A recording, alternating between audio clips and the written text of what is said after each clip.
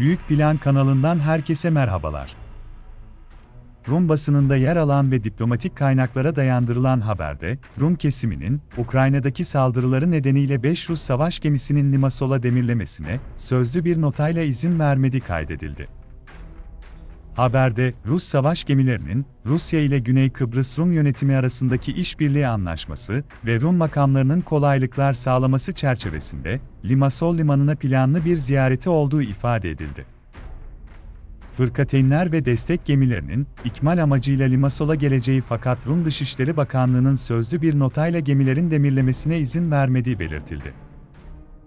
Kıbrıs Rum kesimi, Avrupa Birliği düzeyinde alınan yaptırım kararlarının ardından hava sahasını Rus uçaklarına kapatmıştı. Dünyada ve Türkiye gündeminde olan en güncel haberler için kanalımıza abone olmayı unutmayınız, esenlikle kalın.